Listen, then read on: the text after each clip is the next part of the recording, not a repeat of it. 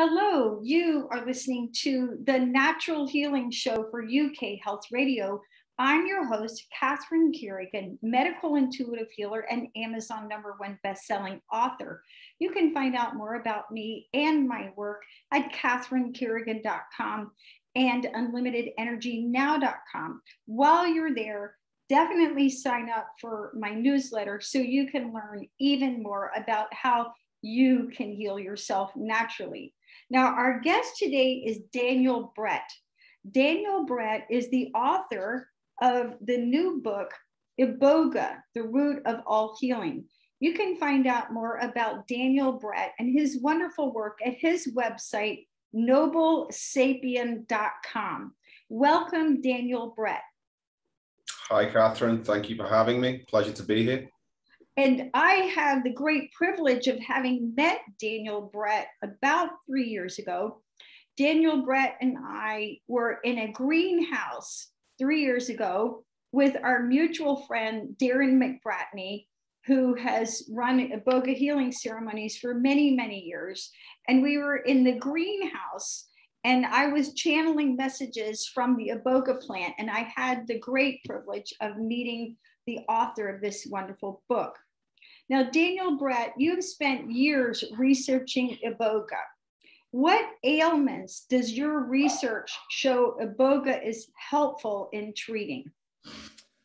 Okay, well, in terms of my research, I am I, am not a doctor, so I didn't do any clinical research as such into the ailments that Iboga is capable of treating.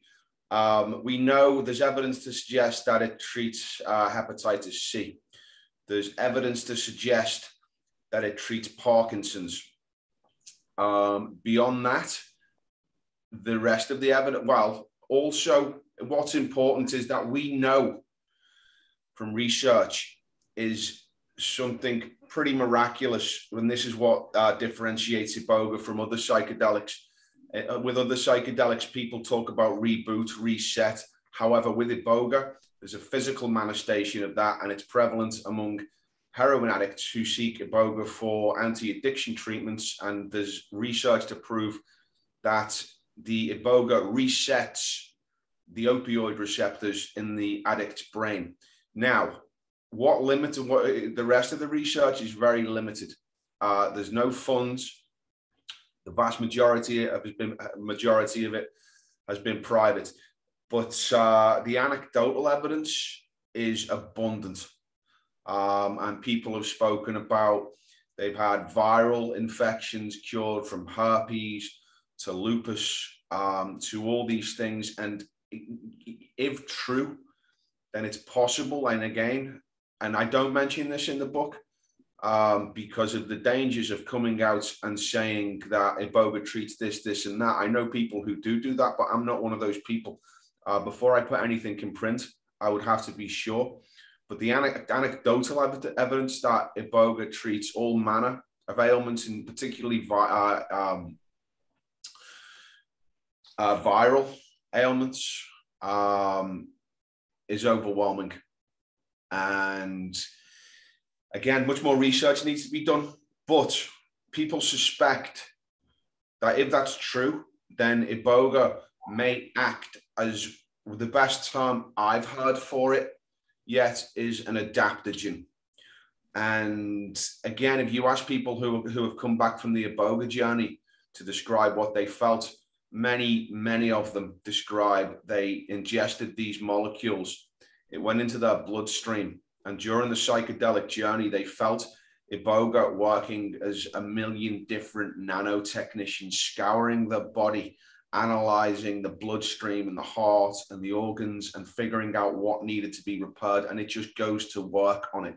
Now, I know that's a bold claim, but again, this is what countless people come back from the experience uh, and recall. And many, many people have returned from that experience saying that they were cured of a whole variety of different infections, illnesses, ailments. Um, so in terms of clinical research, there's very little out there. And that's because it hasn't been performed. Now, I met Daniel Brett years ago because of our mutual friend Darin McBratney. And for over four years, I guess it's been about four and a half years now, I've done medical intuitive readings for every person who has wanted to go do plant medicine ceremonies with Darin McBratney. And now Alina and Isabel of ShambhalaNosara.com in Nosara, Costa Rica. And you had quite the journey writing the book, Iboga, The Root of All Healing. How did you come to write this book? Well, um, first of all, I am a writer. I've been a writer. I, I uh, started writing professionally when I was about 16. I did a degree in journalism in, in the UK. I went to work for the BBC, a couple of other publications. I've worked as a writer for the past 20 years, 25 years. Um, I did Iboga. I was blown away by the experience. And as well as a writer, I'm also an avid reader. I read everything I could on the subject, and there was nothing out there that satisfied my curiosity. Uh, nothing answered the questions. That it, what I read didn't even answer the question. Um, and you know, despite some great attempts, most of these books one or two notwithstanding, but most of these books who, who uh, have been written by people seeking help from addiction. And yeah, I mean, you, you, can judge them as you will. However, the book that I wanted to read didn't exist. So I wrote the book that I wanted to read. Um, I started in 2014 I, I thought it would take me 18 months, and that was a big mistake. It actually took six or seven years. And that took me all over the world. I did interviews with people, I did my own research. Uh, I went to live with the various pygmy tribes of the Congo in Africa and parts of Cameroon. And yeah, the the journey of beginning the book to having the book now in public in publication uh, that was quite the odyssey, but it finally got done, and I'm very proud of it, and it's been very, very, very well received, thankfully. Yes, I believe that Darin McBratney refers it, to it as the definitive book about iboga. So if someone's wanting to really understand what is this plant medicine mm-hmm. and how does it work and how can it help me, this is the book to read, Iboga, the root of all healing. So we need to go back for our audience because many people may not know what is Iboga. What is Iboga? Daniel Brett, the author of the definitive book. what is Iboga? Uh, Iboga is quite simply the root bark of a plant, of a tree um, that grows in the Congo region of Africa, in West Africa, mainly in Gabon but in some other places too. Uh, it grows in the jungle on the semi-shaded rainforest floor where the weather fluctuates between hot and wet. Um, and it's not processed, it's not synthesized. You take the root bark, you take the root from the plant, you scrape off the root bark and you eat it. And that's when the iboga experience begins. It's long, it's heavy, it's highly psychedelic and it's been used for since time immemorial in Africa as a way of healing, uh, as a way of um, optimizing oneself mentally, as a way to, to support the community and the family structure. It's the focal point of a tradition named Bwiti, um, which dates back to the mid 19th century, I believe. Uh, but what is Iboga? Iboga is a very, very, very powerful, effective, potent psychedelic plant medicine. And I have had the great privilege working with Darin McBratney and now Alina and Isabel of ShambhalaNosara.com and doing these medical intuitive readings for people seeking relief from anxiety, depression, um, every kind of neurological disorder you can imagine, including multiple sclerosis and addictions to every substance you could name, whether it's heroin or cocaine or alcohol.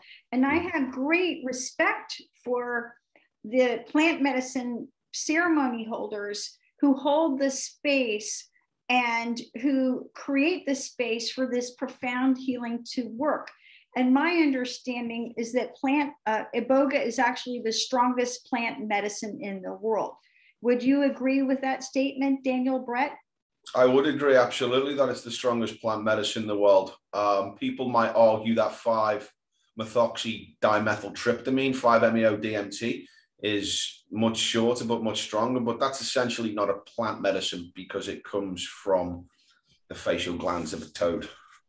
Um, iboga, it's very, very different to um, more traditional, well established medicines. Obviously, the experience does share similar themes, but it also has some components that are particularly unique to the Iboga journey. Now, Daniel Brett, author of Iboga, the Root of All Healing, what underlying medical conditions are contraindications for anyone considering a, an iboga ceremony or microdosing with iboga? In other words, these people should absolutely never touch iboga.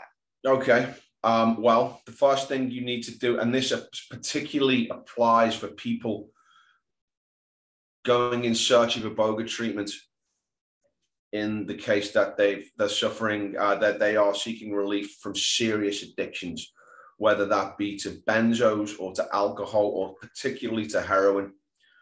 Um, Iboga, for some reason, doesn't like other substances in the body, other um, chemical or even natural, in the case of opium, other substances in the body. And people say this all the time when they, after the Iboga experience, experience they didn't even feel like a coffee. Um, but beyond that, Iboga, what we th- the research seems to suggest that Iboga potentiates what's already in your system, um, which means it amplifies. So, unfortunately and very sadly, there have been a few Iboga related deaths, and the, the, the overwhelming majority of those are thought to be heroin addicts who've sought treatment from their addiction, but they've still had heroin in the bloodstream. So if you if you drink a coffee and then do iboga, that coffee is going to become four or five. That caffeine is going to become four or five times more potent, which is bad enough. However, if you have heroin in your bloodstream and that heroin becomes four or five times more potent, you basically overdose, um, which underscores the fact whether you're uh, uh, seeking addiction treatment or the psycho spiritual treatments, your body needs to be as clean as can be.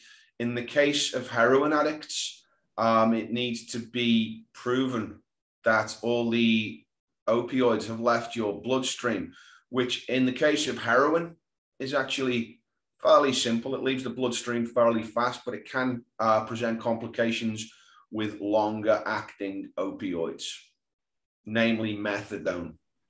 Um, and for people seeking treatment for addictions, especially long term addictions, which may have affected the performance of the heart and liver, it's highly, highly recommended that they undergo certain medical procedures just to test that their heart and their liver is up to the challenge, which 99 times out of 100 it is.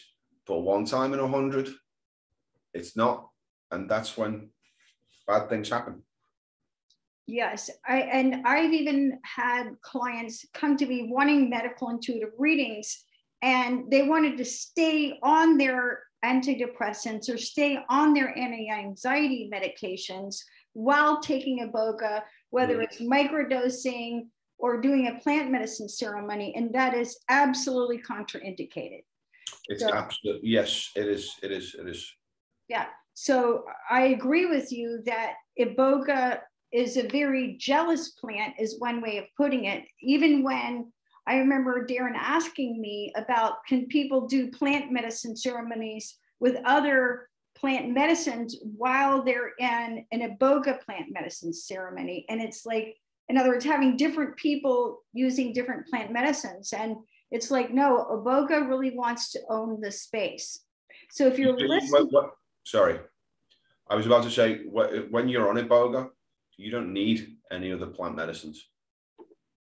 So if you're considering Iboga, then you want to work with medical professionals, natural healers to get clean before you do the Iboga.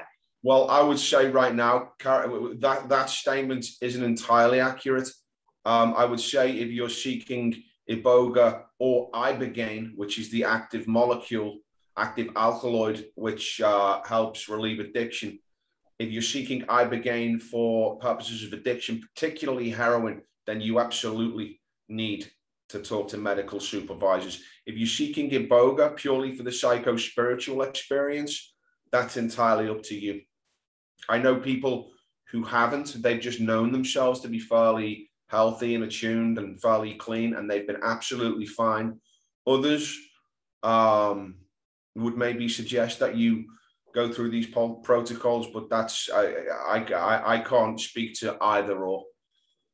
So this is a good time, Daniel Brett, author of Iboga, the Root of All Healing, to explain for our audience what is the difference between Iboga, the root bark, and Ibogaine, the medication. okay, well, iboga, the root bark, is exactly as it sounds. It's shaved from the root of the Tabernanthe iboga tree. Um, and that's the whole form of iboga. That's the way these, uh, the Bwiti sects have been ingesting this and the pygmies. Have they been, that, that, that's how, that's the method that they've used. That's the compound that they use, that they've used for thousands of years is the root bark. Um, now, the ibogaine alkaloid is a single alkaloid present in the root bark, which pharmacologists researched and found was the alkaloid responsible for the anti-addiction qualities. Okay, so what they do is they uh, they isolate that alkaloid, and then it's given to the subject or the patient in either a powder or a crystal white form. And the reason that ibogaine is often preferred for anti-addiction treatments, particularly heroin, is because there's far less matter to consume, and it's thought, and it's more easily weighed, it's more easily quantified.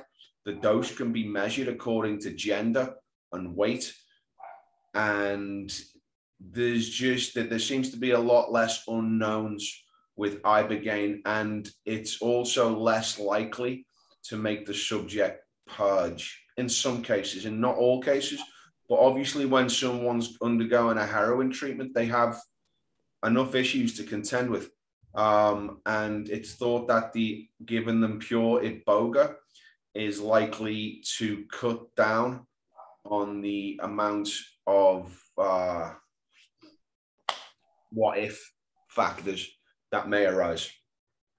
So, and for our audience, iboga is illegal in many countries around the world, whereas ibogaine, as prescribed for a medical doctor, is legal in many countries and used in many anti-addiction. Uh, I would say that wherever iboga is illegal, ibogaine is also illegal. Yeah, it is. It, it, it's a, it's a Schedule One substance. Um, so the, I, I wouldn't I wouldn't differentiate between the two. If iboga is illegal, then ibogaine is illegal.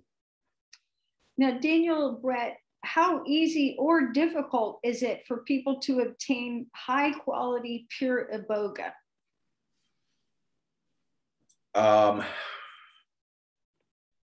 that's a very good question. Um, it's there's places on the internet where you can buy it. I won't name names right now. Um, some of them have better reputations than others. Um, it's fairly easy, actually. If you know where to look and do your research, um, I wouldn't go with the first site you come across. Um, look for reviews, look for recommendations.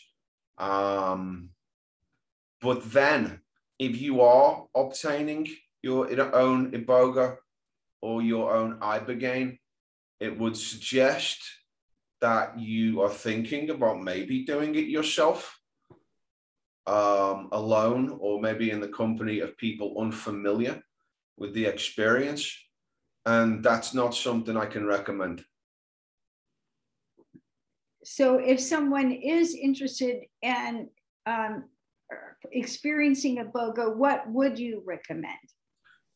Well, that depends on what you want. If you want the true iboga, if you want the not the true iboga experience, but if you want the ultimate initiatory experience or healing experience, then you go to Africa, and there's places in Gabon, very very well re, uh, reputed, where you can go through a traditional initiation ceremony, but that's long and it's expensive and it's out of many people, the reach of many people. Alternatively, uh, you can travel to, you know, there's some great facilities in Costa Rica doing traditional ceremonies. There's some other places in Central America doing traditional ceremonies. Uh, for Ibogaine, um, look to Mexico or Canada, particularly BC. There's some very uh, good people doing some very good work. They know what they're doing. Obviously, this is all outside of the United States where it is illegal. I'm sure ceremonies do take place, but they are illegal. Um, and yeah, beyond that, just you know, there's as you as iboga uh, skyrockets in popularity, or it's about to. Um, you know, the space becomes a vacuum for more and more charlatans and people who don't generally know what they're doing or people who think they can turn a quick buck from offering iboga and ibogaine treatments.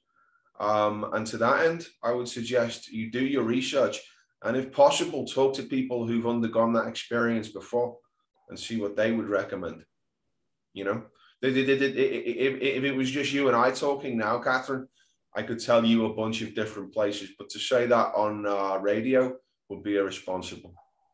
Now, Daniel Brett, author of the Iboga, the Root of All Healing, what conditions in Africa and around the world have been making it difficult to obtain high quality Iboga? Well, that that uh, rolls back to what we just talked about. The same, obviously, as the demand rises in the West, then the sellers in Africa see an opportunity um, to make money. And the, uh, the stuff has been sent from Africa, um, which is either low quality iboga, it hasn't been allowed allowed enough time to grow. In some cases, it's not iboga at all. Um, so, sorry, what was the question again? I, I drifted off.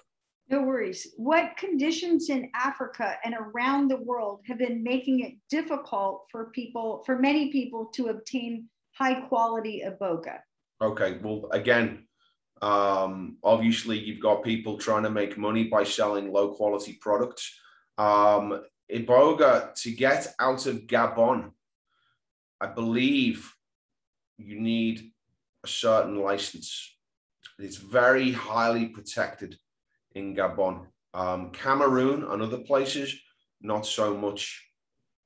Um, generally, the sellers that you find, the more reputed sellers on the internet, have a relationship. And uh, you know what? I, but before I go any further with that, I believe certain laws have just been passed.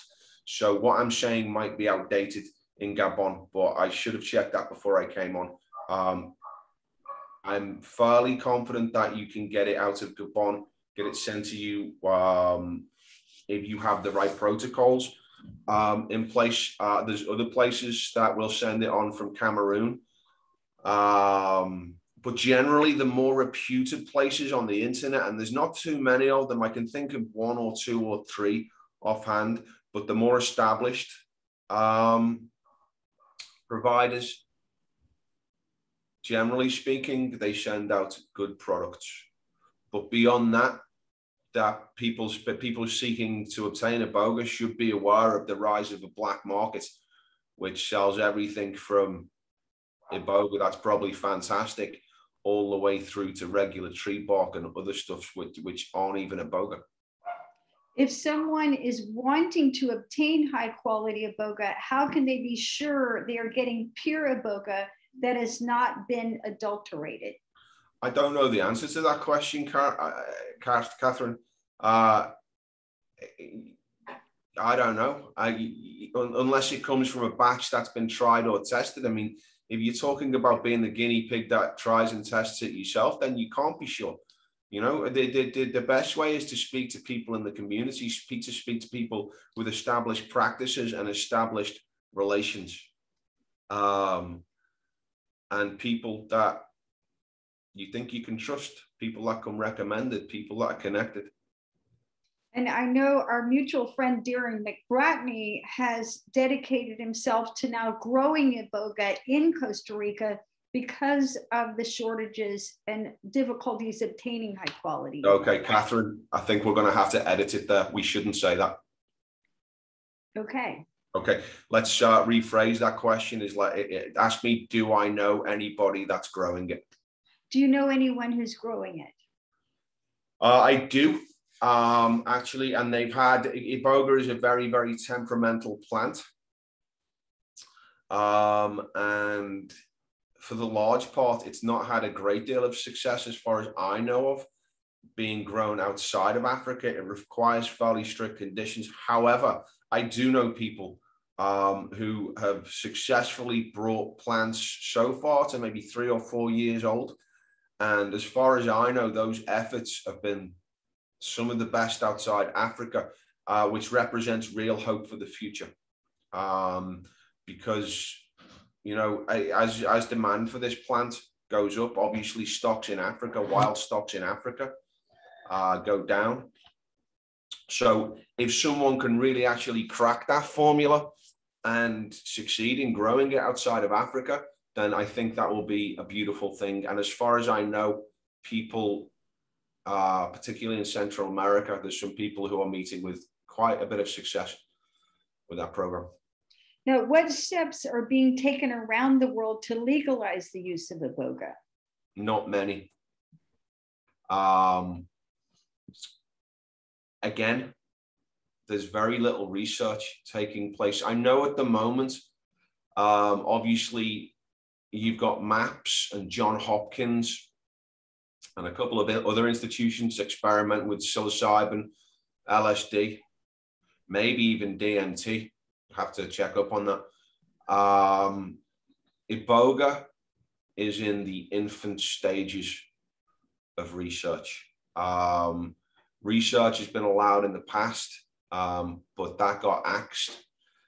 Um, and so not much, but I, I, I can only assume that things will change. You know, Iboga is the its reputation as a psychotherapist and particularly and maybe somewhat unfortunately its reputation is growing as an inter- addiction interrupter every time you look in the media now you google iboga or ibogaine and it comes up only in the context of the opioid crisis um, which obviously what it can do for addiction is a, an incredible thing.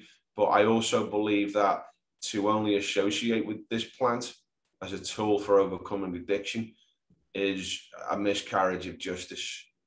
Um, Michael Pollan really recently um, wrote the book How to Change Your Mind, and although he didn't mention iboga, I think he maybe mentioned it once if even that. But he was the first to ask the question what psychedelics can do for well people. And in the context of Iboga, nobody is asking that question. And right, you know, I, I understand it's it's the, again, it's what it can do to help interrupt addiction is truly miraculous. You know, it's a scientific anomaly at the moment. Um, but to limit the discussion to that, I believe is wrong. As your book, Iboga, the Root of All Healing, describes, Iboga started with the Bwiti people in West Africa, the tradition of using it for humans. Mm-hmm. Are there any differences in the way that iboga is used in Africa with the Bwiti people and others in the West who are using it for healing purposes? Okay, well, just to clarify, the Bwiti uh, tradition actually inherited the use of iboga from the Pygmies when they the the the the, the uh, Mitsogo tribes when when the Belgians and the French colonists arrived, they didn't wish to be enslaved, so they retreated into the depths of the Congo. There they met the Pygmies who introduced them to the to the iboga plant. Up until then, it was a strictly held secret kept by the Pygmies, and that's when the use of iboga started to penetrate outside of the Congo basin. Um, is there any difference in the way it's used in Africa? Well, I mean, that depends how you look at it. Isn't there any difference in the way it's consumed? No, it's eaten. Is there any difference in the way the initiate behaves during the experience? Well, for the most part, they're laid down. However, when you get to the ceremonial aspects of what's happening uh, out in these small temples out in the middle of the jungle, um, there's a huge difference. The ceremonies can last for days. They involve chanting, dancing, stories, a lot of fire, um, all kinds of what most Westerners would look in on and just describe as controlled mayhem. Um, it's an experience. I would say that has to be seen to be believed but I've seen I, have I've seen this experience. I've seen this these ceremonies quite a few times, and I can't still really believe what I saw. It's uh, something that's so off limits to the Western mind. It's just completely alien terrain. Um, yeah, and I'm trying to think of the best way to describe it. I mean, you, the, the best way would maybe go on YouTube and look for some Bwiti initiation videos, and that might give you a brief snapshot of what takes place in those Bwiti ceremonies. Uh, the, uh, again, it blew my mind. It was a sight to behold. Um, it lasts forever. The ceremonies in the West that I've been to generally involve people lying down on a mat in a protected space with people there to help them out if need be. Uh, they have water available. They have a person available to help them to the bathroom if need be, or on the off chance that they vomit, they've got a bucket right there. Um, and generally, it's tranquil, it's peaceful. There's beautiful soft music playing in the background. Uh, the iboga ceremonies, they have people there to help them, uh, but everything else, uh, no, it's a wild, wild experience. Now, my understanding is that part of the Bwiti tradition is to use uh, Iboga as a, a rite of passage ceremony to help people mature into their spirituality. How would you describe the Bwiti tradition of the rite of passage using Iboga?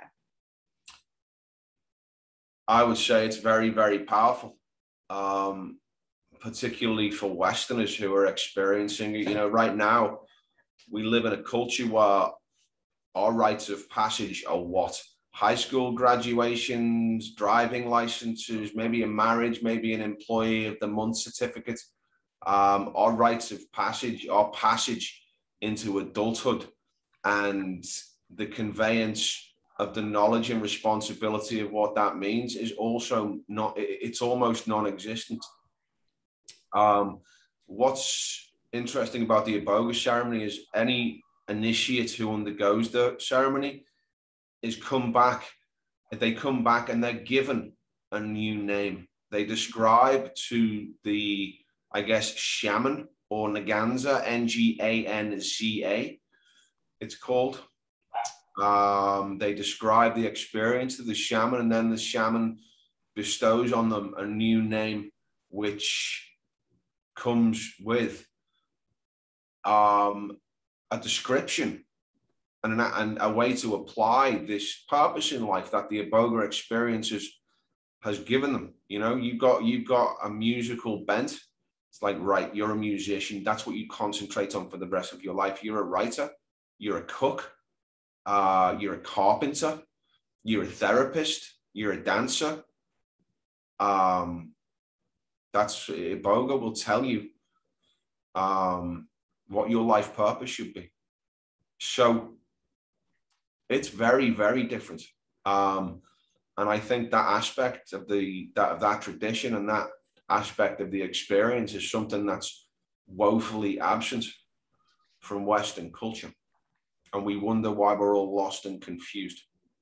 So if someone was in the Bwiti tradition and they went through this rite of passage, Daniel Brett, author of Iboga the Root of All Healing, what age or ages would they generally be when they go through this rite of passage? How old are you be? Would you um, be? that depends. I don't think there's a set age. I think you can do it at 12 or you can do it at 30 or older. I, I, I think it's when the person feels ready and maybe the parents feel ready. I witnessed uh, a baby, a six month old baby, go through an initiation ceremony or a healing ceremony when I was uh, in Gabon. And I saw this baby, um, it ingested Iboga and it, it, lay on a mat with its mother uh, beside her for maybe 15 or 20 hours. And I saw the baby the next day and it looked healthy and vibrant and happy and fantastic. Now, would I recommend people go around feeding their babies psychedelics? Absolutely not. but this is a very, very different, different place, and the same rules do not apply. Um, so, to that end, I don't know if there is an age limit. Now, I assume that having done your research, you've gone through your own rite of passage. Mm-hmm. When you worked with a Naganza, uh, an Iboga shaman, what was the new name they gave you, and what purpose did you discover from your own ceremony? I did not what I what when I went to Africa, Catherine, I went purely uh, in a research context, and we were very very lucky and very privileged to, to allow to be allowed to attend these ceremonies without strictly being initiated. I said to the Naganza, one of the Naganzas I met in Africa, um, what does it take to be initiated? Now, some people would disagree with this I think. But he said to me, Have you done iboga? And I said, Yes, I've done iboga in Costa Rica. I've done it multiple times. And he said, You've already been initiated. Mm. Um, and so, you know, the, the, the, there's many different traditions of Bwiti, and somewhat some may argue that it requires a Bwiti ceremony. But the this guy told me the initiation is the experience of the plant itself. So to that end, I wasn't given any name, but it did help me with my life's purpose for sure. It did help me to focus and gave me clarity of mind and gave me huge insights into what was important and who I was and where, where my talents lay and what I should focus on and to what end I should use them. You know, it didn't come immediately. That took a while to come out uh, because, I mean, that was just part of an overwhelming amount of information that I received during my Iboga experiences. So no, um, I was not given a new name by the Bwiti. And as part of your research, again, I know you've pro- done a number of plant medicine ceremonies. How many Iboga plant medicine ceremonies do you estimate that you yourself have gone through? well, if you consider a plant medicine ceremony to be a huge dose of iboga, a flood dose, a flood dose, then it's below 10. That's for sure. Um, to some people, my number might be a large amount. To others, it might be a very, very small amount. Iboga is not something you need to revisit again and again and again. Um, I've microdosed many, many times. I every ceremony I went to in Africa, you're required to eat iboga before you walk in. Uh, if you when you're in the temple, if you're in the temple during the ceremony, whether it be for initiation or healing, then you're required to eat iboga, and that includes yourself, everyone in there, the men, the women, the children, the animals. If the village dog walks through the door of that temple, then it's required to eat iboga. And I spent um, a lot of the time in Africa microdosing. So, you know, as a Westerner, I'm probably fairly experienced with it. Um, for the guys in Gabon, I mean, uh, some of those guys microdose daily. It's part of their daily regime. Yes. Now, um, can you explain for our audience, Daniel Brett, author of Iboga, The Root of All Healing, why someone wouldn't do Iboga just for fun? Like many people experiment with psychedelic drugs just for fun. Why would you never do Iboga just for fun? You know, I wouldn't say never do iboga just for fun. Hang on. All right, let's let's edit that. Why would ask me the question again, please, Catherine? So someone listening to this audience might go, "Gosh, I want to do iboga just for fun," just like some people unfortunately experiment with marijuana or cocaine or heroin just for the experience. Why would you never do that? Okay, I would say going into the experience, you should do it with reverence, respect, and the idea that this medicine is powerful and it is sacred and it's going to turn you inside out in a way that you didn't think was possible. Um, the experience itself is long. It's physically extremely challenging. It can be, especially if it's gone to work on your body. Luckily, your mind is usually tuned to an entirely different channel, so you can con- you don't have to concentrate on that. Um, but it takes a few days to get over it. You know, you might you might you might want to take one or two or three days off after the experience. Um, it's to be approached with respect. That said, just because you don't approach the experience from the idea I would like to have fun doesn't mean you can't have fun. It is fun. It was fun. It's not fun for everyone. Um, but I'm for myself and for quite a few people I know, the experience seems to be once it's done its work, once it's got the heavy lifting out of the way, and you're still deeply into the experience, um, the, the, the, the, it will it will offer you the chance to do whatever you want, and that can mean anything. It offered to take me surfing. It offered to take me parties. It offered to take me flying around the universe. Uh, a friend of mine who did it very recently. He's a tennis player. And he said when he got to that point, when it, uh, the same as it did for me, the same as it's done for many people I know, he got to the point where the Iboga medicine turned around and said to him, okay, well done. You've done the work. That's all we can show you for now. But you're still here. What would you like to do? And in the end, he ended up playing tennis. Tennis. He's, he's a tennis fan. He plays a lot of tennis. He ended up playing tennis with himself versus Roger Federer uh, using planets as balls and the entire length of the solar system as a court. And I, have had quite a few experiences like that. So, no, you should not approach it uh, from the attitude that you're going to have fun, but don't immediately dismiss the idea that fun might not happen because it really can be an incredible, mind blowing experience. It's visions it's it's it, some of the visions, not for everybody, but for many people, the, the, the visions are as clear as this 3D interaction that you and I are having right now. They are they're very lucid, they're prolonged. Well, I mean, it's been described very aptly as the equivalent of lucid dreaming wide awake.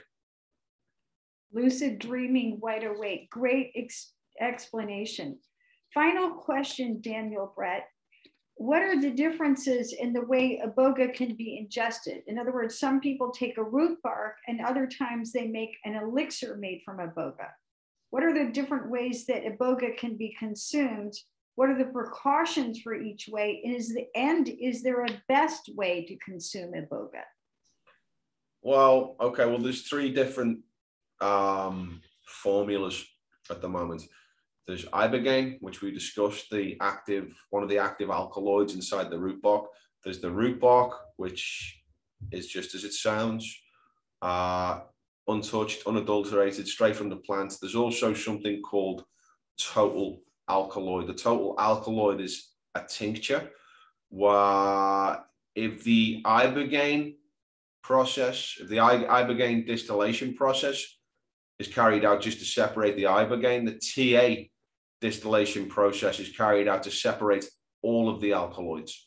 Okay, so you're getting all of the benefits of the entire plant without the inert matter. If you eat root bark, then may, uh, uh, uh an estimated 5% of that root bark is psychoactive. So you've got 95%, which is just inert matter. It won't do you any harm.